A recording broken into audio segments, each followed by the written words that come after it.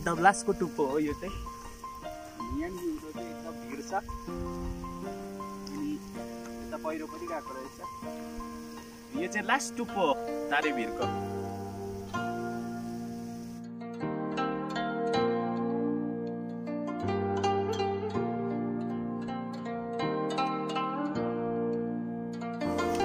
हामी चाहिँ उयो माथि देख्दै गरेको टुप्पोदेखि आएको हो अनि यो लास्ट टुप्पोमा आइपुगेको अब फेरि हामी फर्केर त्यहीँ जानुपर्छ हो।